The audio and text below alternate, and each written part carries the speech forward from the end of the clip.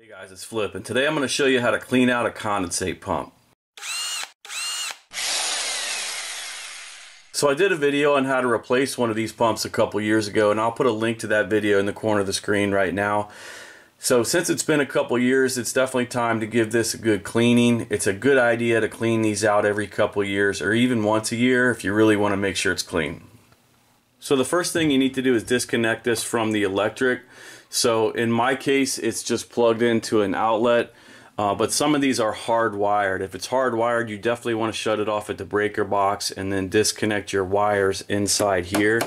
But in my case, I just have to unplug it. My pump also has a safety switch that is wired into the furnace and I will show you with this non-contact tester that these low voltage wires are actually still hot since it's wired into the furnace. So it's a good idea anytime you're doing anything with wiring to use a tester like this uh, to make sure the power is off. And I'll put a link to a tool like this under the video if you want to check one out. But to make sure there's no power running to this at all, you want to shut off the furnace. And you want to shut off the furnace anyways because you don't want it draining water once you disconnect the pump from the tubing. So I'll show you now that the furnace is off, these aren't hot anymore. So now we're good to go to disconnect this from the safety switch wiring. Now I'm going to disconnect the drainage line from the pump and you want to have a cup or a bucket or something ready to drain some of this water into.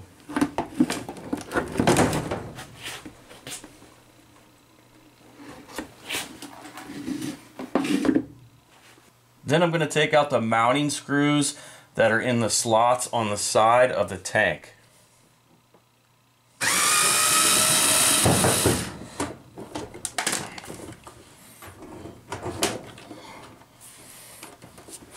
And you want to kind of support the tank under here as you take out the screws.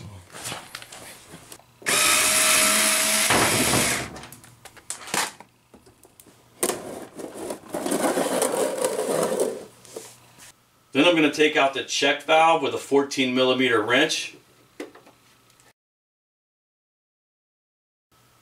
This will only let water through one way, so what you want to do is blow some air through here this way or shoot some warm soapy water through here just to make sure you don't have any crud built up in there.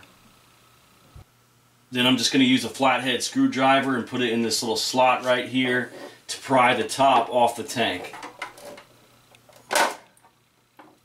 And as you can see it's pretty slimy in there. So that'll give you an idea here. This is a two-year-old pump installed brand new and not too bad, but definitely got some grime going we can get cleaned up. I'm just going to spray out the reservoir tank with a hose.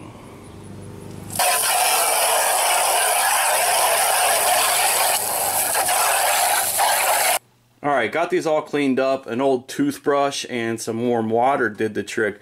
But you can also use a mild soap if you like. But the biggest thing is that this float is able to move freely. You don't want this to get so gunked up on here or in here that this can't move freely. That's where you're going to start to have problems.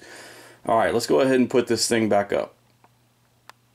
Okay, so I'm going to put this back together. Put the check valve back in.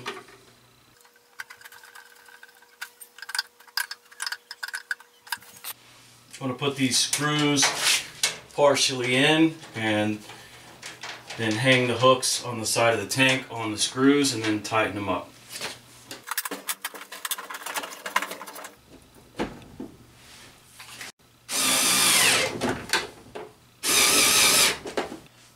We've got the safety switch reconnected and now we can go ahead and put our discharge tubing back on the check valve.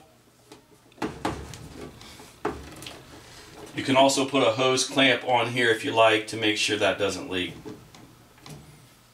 Now we can go ahead and plug this back in and turn the furnace back on.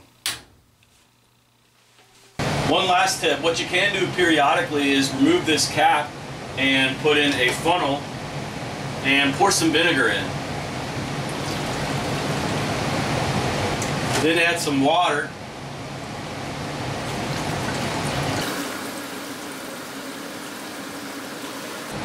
Until the pump runs like that and runs it through the system. That'll help keep it clean as well. All right, we're all back in business and all cleaned up. If this video helped you out, please hit the like button and subscribe to my channel. Thanks for watching.